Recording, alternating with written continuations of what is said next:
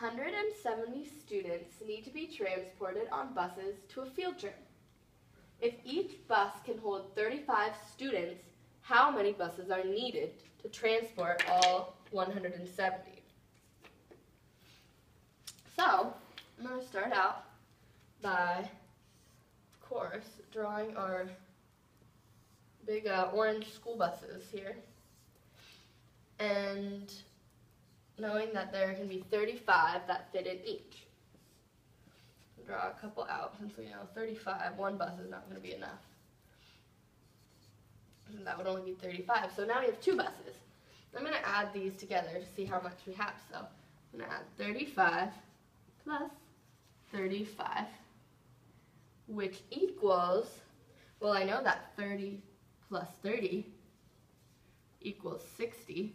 So I can use my partial products. And then I have to add the 5's together. 5 plus 5 equals 10, and 60 plus 10 equals 70. So that's 70 kids can fit in two buses, which takes care of that, but we still need 100 more students to fit. So let's keep going. I know I can add, we're going to need at least two more buses, since that would be 70 more, which is still less than 100. So I'm going to add two more buses, which can each hold 35 students. And once again, add these together, which I know is going to be 70. So now I'm going to take this 70 from our first two buses, and this 70 from our second two, and add them together to see how many four buses can hold. So 70 plus 70. So I know 70 can be broken up by adding 50 plus 20 equals 70. 50 plus 20 equals 70. So I'm first going to add the 50s together.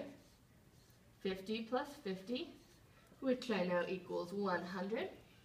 And then I can add the 20s. 20 plus 20 equals 40. And then I add those together to get 140. So 140 is still not quite enough for all 170 students, but we're getting close. So I'm going to add one more bus and see how well that fares us. So one more bus that can fit 35 students. I'm going to add that to our 140 from our four buses. So we're going to add 140 plus 35.